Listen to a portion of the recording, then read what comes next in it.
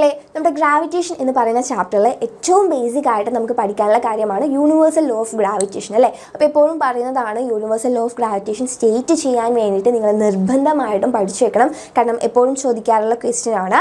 പക്ഷേങ്കിൽ നിങ്ങളത് സ്റ്റേറ്റ് ചെയ്യാൻ വേണ്ടി മാത്രം പഠിച്ചു വെച്ചാൽ പോരാ. അതിൽ നിന്നുള്ള ന്യൂമറിക്കൽ ക്വസ്റ്റ്യൻസ് നമ്മളോട് ചോദിക്കാറുണ്ട്.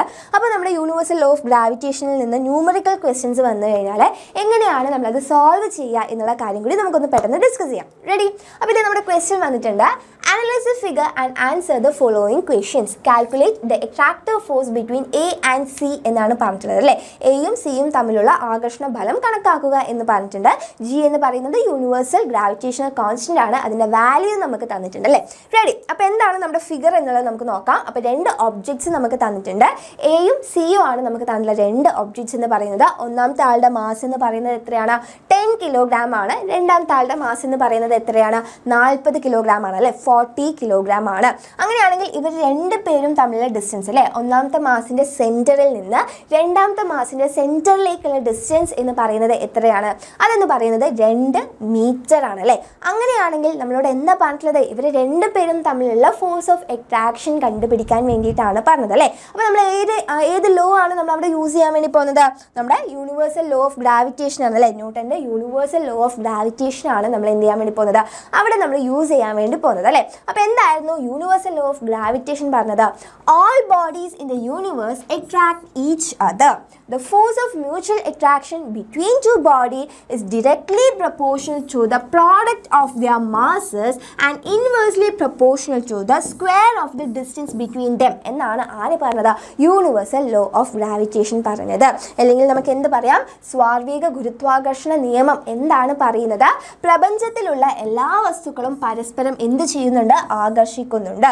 രണ്ട് വസ്തുക്കൾ തമ്മിലുള്ള പരസ്പരാകർഷണ ബലം അവയുടെ മാസുകളുടെ ഗുണനഫലത്തിന് അനു നേർ അനുപാതത്തിലും അതേപോലെ തന്നെ അവ തമ്മിലുള്ള അകലത്തിന് വർഗത്തിന് വിപരീത അനുപാതത്തിലുമായിരിക്കും എന്നാണ് ആര് പറഞ്ഞിട്ടുള്ളത് നമ്മുടെ സാർവിക ഗുരുത്വാകർഷണ നിയമം പറഞ്ഞിട്ടത് അല്ലേ? അപ്പോൾ ഇത് നമുക്കിനി എന്താക്കിയിട്ട് മാറ്റാം? ഒരു ഇക്വേഷൻ രൂപത്തിലേക്കാക്കി മാറ്റാം അല്ലേ? അപ്പോൾ ഇത് ഇക്വേഷൻ രൂപത്തിലേക്കാക്കി മാറ്റിക്കഴിഞ്ഞാൽ എന്താണ് നമുക്ക് കിട്ടുന്നത്? എഫ് എന്ന് പറയുന്നത് is directly proportional to the product of the mass ആണ് അല്ലേ?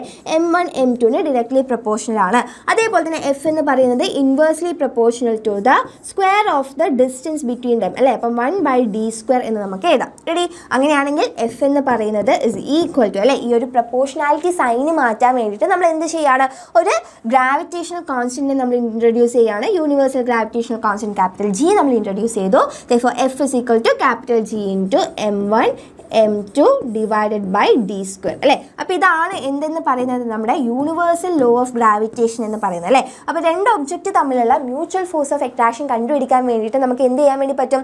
F is equal to G into M one M two divided by D square എന്ന് പറയുന്ന ഇക്വേഷൻ യൂസ് ചെയ്യാൻ വേണ്ടി പറ്റും ഓക്കെ അങ്ങനെയാണെങ്കിൽ ഈ ഒരു ഇക്വേഷൻ യൂസ് ചെയ്തുകൊണ്ട് നമുക്ക് എന്ത് ചെയ്യാം? ഇവർ രണ്ട് പേരും നമ്മൾ ഫോഴ്സ് ഓഫ് അട്രാക്ഷൻ നമുക്ക് കണ്ടുപിടിക്കാം അല്ലേ? ദേ for F is equal to അല്ലേ എമ്മിന്റെ വാല്യൂ നമുക്ക് തന്നിട്ടുണ്ടല്ലോ എം വൺ എന്ന് പറയുന്നത് ഈക്വൽ ടു എത്രയാണ് മക്കളെ? ടെൻ കിലോഗ്രാം ആണ്. എം ഇസ് ഈക്വൽ ടു എത്ര തന്നിട്ടുണ്ട്? എം ടു എന്ന് പറയുന്നത് നാൽപ്പത് കിലോഗ്രാം എന്ന് തന്നിട്ടുണ്ട്.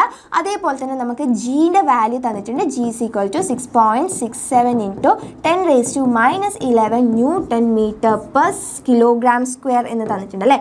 Newton metre per kilogram square എന്ന് തന്നിട്ടുണ്ട്. അതേപോലെ തന്നെ വേറെ ആരാണ് നമുക്ക് തന്നിട്ടുള്ളത്? ഡി തന്നിട്ടുണ്ട് അല്ലേ? D is equal to two metre എന്ന് തന്നിട്ടുണ്ട്. റെഡി അപ്പോൾ നമ്മൾ നോക്കുന്നതാണെങ്കിൽ നമ്മുടെ യൂണിറ്റ്സ് ഒന്നും പ്രത്യേകിച്ച് നമ്മൾ ചേഞ്ച് ചെയ്യേണ്ട ആവശ്യമില്ല. എല്ലാം എസ് ഐ യൂണിറ്റിൽ തന്നെയാണ്. അപ്പോൾ നമുക്ക് എന്ത് ചെയ്യാം? യൂണിറ്റ്സ് ചേഞ്ച് ചെയ്യണം അല്ലേ? നേരെ അതേപോലെ തന്നെ നമുക്ക് എന്ത് ചെയ്താൽ മതി? നമ്മുടെ ഇക്വേഷനിലേക്ക് സബ്സ്റ്റിറ്റ്യൂട്ട് ചെയ്താൽ മതി.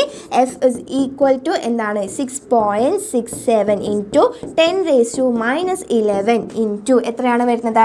ടെൻ ആണ് വരുന്നത് അല്ലേ? Ten into forty divided by two square എന്നാണ് വരുന്നത് അല്ലേ? ടു സ്ക്വയർ എന്ന് പറയുന്നത് എത്രയാണ്? ദാറ്റ് ഇസ് ഈക്വൽ ടു എത്രയാണ്?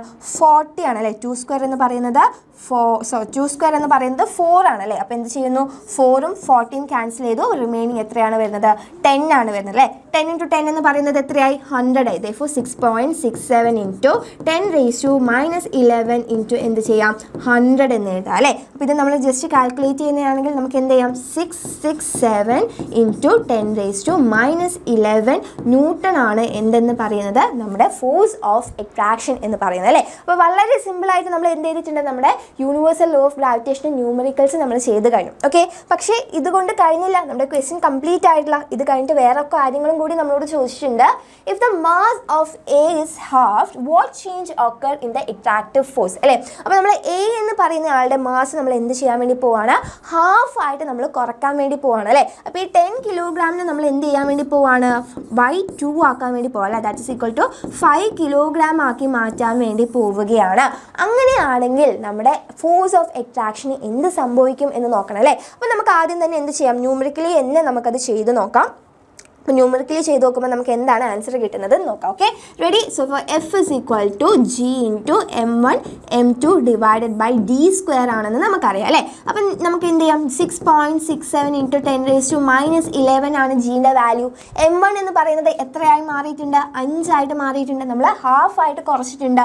ഇന്റു എത്ര തന്നെയാണ്? ആ രണ്ടാമത്തെ മാസം ഫോർട്ടി തന്നെയാണ് അല്ലേ? ഡിസ്റ്റൻസ് നമ്മൾ കുറച്ചിട്ടുണ്ടോ? മാസിന്റെ ഡിസ്റ്റൻസ് കുറച്ചിട്ടുണ്ടോ? ഇല്ല അല്ലേ? അപ്പോൾ അതെന്ന് പറയുന്നത് എത്ര തന്നെയാണ്? ടു സ്ക്വയർ തന്നെയാണ്. അപ്പോൾ അതെന്ന് പറയുന്നത് നമുക്ക് എന്തായിട്ട് എഴുതാം? ഫോർ ആയിട്ട് എഴുതാം അല്ലേ? ടു സ്ക്വയർ എന്ന് പറയുന്നത് നമ്മൾ ഫോർ ആയിട്ട് എഴുതും. ഓക്കെ വീണ്ടും നമ്മൾ ഫോറും ഫോർട്ടിയും കട്ട് ചെയ്തു ടെൻ ആണ് വരുന്നത് അല്ലേ? അപ്പോൾ എത്രയാണ് വരുന്നത്? Six point six seven into ten raise to minus eleven into എത്രയാണ് വരുന്നത്? ഫിഫ്റ്റി ആണ് വരുന്നത് അല്ലേ? ഓക്കെ ഇനി നമുക്ക് എന്ത് ചെയ്യാം? കാൽക്കുലേഷൻ ചെയ്യാം അല്ലേ? അപ്പോൾ അപ്പോൾ ഫൈവ് ഇന്റു സെവൻ എന്ന് പറയുന്നത് എത്രയാണ്? തേർട്ടി ഫൈവ് ആണ് അല്ലേ? അപ്പോൾ ഇതേ ഫൈവ് നമ്മൾ ഇവിടെ എഴുതുന്നു carry over three okay five into six എന്ന് പറയുന്നത് തേർട്ടി ആണ്. തേർട്ടി പ്ലസ് ത്രീ എന്ന് പറയുന്നത് എത്ര വരും? തേർട്ടി ത്രീ വരും. ദേ ഫോർ ത്രീ എഴുതി വീണ്ടും ക്യാരി ഓവർ ട്രീ ചെയ്തു.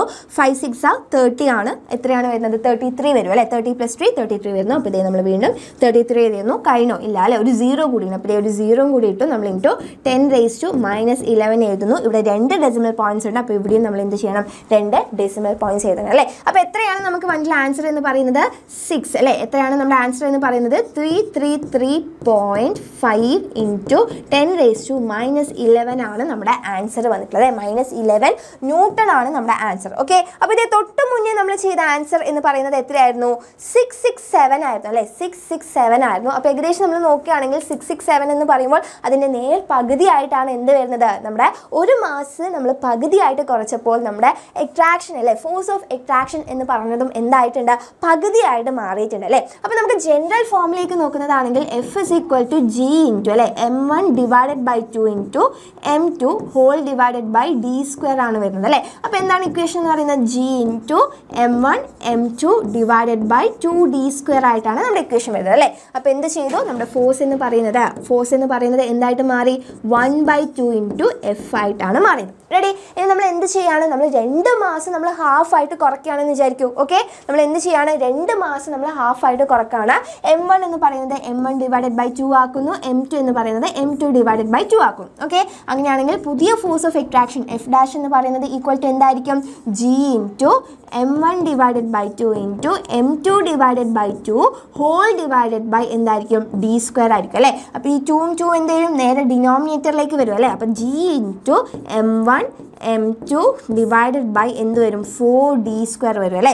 അപ്പോൾ ഇത്രയും ആളെന്ന് പറയുന്നത് ആരാണ്? നമ്മുടെ ഫസ്റ്റ് ഉണ്ടായ ഫോഴ്സ് അല്ലേ? ഇത്രയും ആളെന്ന് പറയുന്നത് എഫ് ആണ് അല്ലേ? അപ്പോൾ നമുക്ക് എന്ത് ചെയ്യാൻ വേണ്ടി പറ്റും? ഈ ഒരാളെന്ന് പറയുന്നത് this is equal to one by four one by four into F ആണെന്ന് പറയും അല്ലേ? അപ്പോൾ നമ്മൾ രണ്ട് മാസം നമ്മൾ ഹാഫ് ആയിട്ട് കുറക്കുകയാണെങ്കിൽ നമ്മുടെ ഫോഴ്സ് എന്ന് പറയുന്നത് എത്രയായിട്ട് മാറും? One by four of F ആയിട്ട് മാറും അല്ലേ? റെഡി ഓക്കെ അപ്പോൾ മാസ് ഇങ്ങനെ മാറുന്നതിനനുസരിച്ച് എങ്ങനെയാണ് നമ്മുടെ ഫോഴ്സ് മാറുന്നത് എന്നുള്ള കാര്യം നിങ്ങൾക്ക് മനസ്സിലായിട്ടുണ്ടോ അല്ലേ? അങ്ങനെയാണെങ്കിൽ ഇനി എന്താണ് നമ്മളോട് ചോദിച്ചിട്ടുള്ളത്? നെക്സ്റ്റ് നമ്മളോട് ചോദിച്ചിട്ടുള്ള കാര്യം എന്ന് പറയുന്നത് suggest method for increasing the attractive force between A and C without changing the mass അല്ലേ? അപ്പോൾ നമ്മൾ മനസ്സിലാക്കി മാസ് മാറുന്നതിനനുസരിച്ച് ഇവിടെ ഫോഴ്സ് കൂടുകയും കുറയും ഒക്കെ ചെയ്യാൻ വേണ്ടി പറ്റും അല്ലേ? മാസ് നമ്മൾ കുറച്ചപ്പോൾ എന്താ സംഭവിച്ചത്? അതിന്റെ ഫോഴ്സ് എന്ന് പറയുന്നത് കുറയാണ് ചെയ്തത് അല്ലേ? ഇനി നേരെ മറിച്ച് നമ്മൾ മാസ് കൂട്ടുകയാണെങ്കിൽ എന്താ സംഭവിക്കുക? നമ്മളോട് അട്രാക്റ്റീവ് ഫോഴ്സ് കൂട്ടാൻ വേണ്ടിയിട്ടാണ് പറഞ്ഞത് അല്ലേ? അപ്പോൾ എഫ് എന്ന് പറയുന്നത് നമുക്കറിയാം G into M one M two divided by D square ആണെന്ന് നമുക്കറിയാം അല്ലേ? അങ്ങനെയാണെങ്കിൽ നമ്മൾ മാസ് കൂട്ടുകയാണ് എം വണ്ണിന് ടു എം വണ്ണും എം ടുവിനെ ടു എം ടു ആക്കി മാറ്റാണ് അല്ലേ? അപ്പോൾ നമുക്ക് എന്ത് കിട്ടും? F is equal to G into അല്ലേ? F dash is equal to G into two M one two M two divided by D square എന്ന് കിട്ടും അല്ലേ? അപ്പോൾ നമുക്ക് എന്ത് ചെയ്യാം? Four G M one M two divided by D square എഴുതാം. അല്ലെങ്കിൽ this is equal to four into F എന്ന് എഴുതാം അല്ലേ? അപ്പോൾ നമ്മൾ മാസ് രണ്ട് മാസിനെ നമ്മൾ ഡബിൾ ആക്കിയിട്ട് ഇൻക്രീസ് ചെയ്യുമ്പോൾ അവിടെ എന്താ സംഭവിക്കുന്നത്? നമ്മുടെ ഫോഴ്സ് എന്ന് പറയുന്നത് ഫോർ ടൈംസ് ആയിട്ട് ഇൻക്രീസ് ചെയ്യാണ് ചെയ്യുന്നത് അല്ലേ? അപ്പോൾ ഇതേപോലെ നമുക്ക് എന്ത് ചെയ്യാൻ വേണ്ടി പറ്റും? നമ്മുടെ ഫോഴ്സിനെ കുറയ്ക്കാനും കൂട്ടാനും പറ്റും. പക്ഷെ നമ്മുടെ ക്വസ്റ്റനിൽ എന്ത് പറഞ്ഞിട്ടുണ്ട്? മാസ് എന്ന് പറയുന്ന ആളെ നമ്മൾ എന്ത് ചെയ്യാൻ വേണ്ടി പാടില്ല? ചേഞ്ച് ചെയ്യാൻ വേണ്ടി പാടില്ല.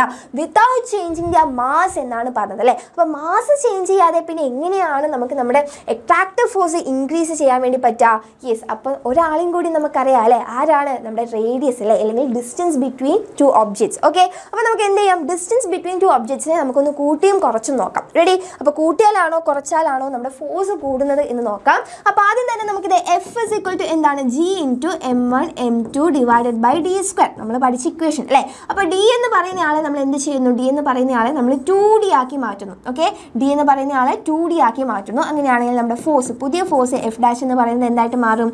G into M one M two അല്ലേ? മാസിന് മാറ്റിയില്ല ഡി എന്ന് പറയുന്ന ആൾ എന്തായി? ടു ഡി ആയി മാറി അല്ലേ? അപ്പോൾ ടു ഡി ഹോൾ സ്ക്വയർ ആണ്. This is equal to G into M one M two divided by four D square എന്ന് വരും അല്ലേ? അപ്പോൾ ഇതെന്ന് പറയുന്നത് ഈക്വൽ ടു എന്താണ്? One by four into F ആണ് അല്ലേ? അപ്പോൾ എന്താ ചെയ്താൽ നമ്മൾ ഡിസ്റ്റൻസ് കൂട്ടിയപ്പോൾ അവിടെ എന്താ സംഭവിച്ചത്? Force one by four F ആയിട്ട് മാറുകയാണ് ചെയ്തത് അല്ലേ? നാലിൽ ഒന്നായിട്ട് ഒന്നിൽ എന്താണ് ചെയ്തത്? നാലിൽ ഒന്നായിട്ട് കുറയുകയാണ് ചെയ്തത്. ഓക്കെ റെഡി ഇനി അങ്ങനെയാണെങ്കിൽ നമ്മുടെ ഡിസ്റ്റൻസ് എന്ന് പറയുന്നത് നമുക്ക് ഡി ബൈ ടു ആക്കി മാറ്റി നോക്കാം. ഡിസ്റ്റൻസിനെ നമുക്ക് കുറച്ച് നോക്കാം. പകുതി ആക്കിയിട്ട് കുറച്ച് നോക്കാം. അപ്പോൾ എന്താ സംഭവിക്കുക? എഫ് ഇസ് ഈക്വൽ ടു എന്തായിട്ട് മാറും? F dash is equal to G into M one M two മാസിൽ നമ്മൾ ഒരു ചേഞ്ചസും വരുത്തിയിട്ടില്ല. ഡി എന്ന് പറയുന്നത് എന്താക്കി മാറ്റി? ഡി ബൈ ടു ആക്കി മാറ്റി. അല്ലേ? അപ്പം D by two whole square ആണ് റെഡി അപ്പം അങ്ങനെയാണെങ്കിൽ നമുക്ക് എന്ത് ചെയ്യാം? G into M one M two divided by D divided by four square അല്ലേ? D square divided by four ആണ് വരിക. അപ്പോൾ നമുക്കറിയാം A divided by B whole divided by C by D എന്ന് പറയുന്നത് നമുക്ക് എങ്ങനെ എഴുതാം? A by B into D by C എന്ന് എഴുതാം അല്ലേ? അപ്പോൾ ഈ കാര്യം നമ്മൾ എന്ത് ചെയ്യുക? അതേപോലെ ഇതേ മാറ്റി എഴുതാം ദോ G into M one M two divided by എന്താണ്? ഡി സ്ക്വയർ ഇന്റു ഫോർ ആയിട്ട് മാറും അല്ലേ? അപ്പോൾ ഇതെന്ന് പറയുന്നത് four G M one M two divided by D square ആണ്. Four this is equal to four F ആണ് അല്ലേ? അപ്പം നമ്മൾ നമ്മുടെ ഡിസ്റ്റൻസിനെ രണ്ട് ഒബ്ജക്റ്റുകൾ തമ്മിലുള്ള ഡിസ്റ്റൻസിനെ ഹാഫ് ആയിട്ട് കുറച്ചപ്പോൾ അവിടെ എന്താ സംഭവിച്ചത്? ഫോഴ്സ് എന്ന് പറയുന്നത് നാലിരട്ടിയായിട്ട് കൂടുകയാണ് ചെയ്തത് അല്ലേ? ഫോർ ടൈംസ് ആയിട്ട് ഇൻക്രീസ് ചെയ്യുകയാണ് ചെയ്തത്. അപ്പോൾ നമ്മുടെ ഫോഴ്സ് മാസ് ചേഞ്ച് ചെയ്യാതെ രണ്ട് ഒബ്ജക്റ്റുകൾ തമ്മിലുള്ള എക്സാക്റ്റ് ഫോഴ്സ് നമുക്ക് ഇൻക്രീസ് ചെയ്യണമെങ്കിൽ നമ്മൾ എന്ത് ചെയ്താൽ മതി? ആ രണ്ട് ഒബ്ജക്റ്റുകൾ തമ്മിലുള്ള ഡിസ്റ്റൻസ് നമ്മൾ കുറച്ചാൽ മതി അല്ലേ? ഡിസ്റ്റൻസ് കുറയും തോറും നമ്മുടെ ഫോഴ്സ് എന്ന് പറയുന്ന ആൾ എന്ത് ചെയ്തു വരും? കൂടി കൂടി വരും. ഇനി ഇതേപോലെ ഇങ്ങനെയൊക്കെ ഇക്വേഷൻസ് ഒക്കെ എഴുതി കണ്ടുപിടിക്കണം. ഇത്രയും കോംപ്ലിക്കേറ്റഡ് ആവണം എന്നൊന്നുമില്ല. നമുക്ക് നമ്മുടെ ഇക്വേഷൻ അറിയാം അല്ലേ എഫ് എന്ന് പറയുന്നത് എന്താണ്? Directly proportional to M one M two ആണ് അല്ലേ? അപ്പോൾ നമ്മൾ മാസ് ഇൻക്രീസ് ചെയ്യുകയാണെങ്കിൽ അവിടെ നമ്മുടെ ഫോഴ്സ് എന്ന് പറയുന്നത് എന്താണ് ചെയ്യുന്നത്? ഇൻക്രീസ് ചെയ്യും അല്ലേ? നേരെ മറിച്ച് നമ്മൾ മാസ് ഡിക്രീസ് ചെയ്യുമ്പോൾ ഫോഴ്സ് എന്ന് പറയുന്ന ആൾ ഡിക്രീസ് ചെയ്യും. ഓക്കെ അതേപോലെ എഫ് എന്ന് പറയുന്നത് ഇൻവേഴ്സ്ലി പ്രപ്പോർഷണൽ ടു എന്താണ്? വൺ ബൈ ഡി സ്ക്വയർ ആണ് അല്ലേ? Inversely proportional to D square ആണ്. റെഡി അങ്ങനെയാണെങ്കിൽ നോക്കിയേ നമ്മുടെ ഫോഴ്സ് കൂടുന്നുണ്ടെങ്കിൽ നമ്മൾ എന്ത് ചെയ്യണം? നമ്മുടെ ഡി സ്ക്വയറിനെ കുറയ്ക്കണം. ഡി സ്ക്വയർ കൂടുമ്പോൾ ഫോഴ്സ് എന്ന് പറയുന്ന ആൾ കുറയും. ഓക്കെ ഈ ഒരു മെത്തേഡ് വഴിയും നിങ്ങൾക്ക് എന്ത് ചെയ്യാൻ വേണ്ടി പറ്റും? നമ്മുടെ ഇക്വേ നമ്മുടെ ക്വസ്റ്റ്യന്റെ ആൻസറിലേക്ക് നിങ്ങൾക്ക് കൺക്ലൂഡ് ചെയ്യാൻ വേണ്ടി പറ്റും. ഓക്കെ അപ്പോൾ നമ്മുടെ ഗ്രാവിറ്റേഷൻ ലോ നമ്മുടെ യൂണിവേഴ്സൽ ഗ്രാവിറ്റേഷൻ ലോ എന്ന് പറയുന്നത് കൺസെപ്റ്റ് കംപ്ലീറ്റ് ആയിട്ട് ക്ലിയർ ആയിട്ടുണ്ടാകും എന്ന് മിസ് വിചാരിക്കുന്നു. And thank you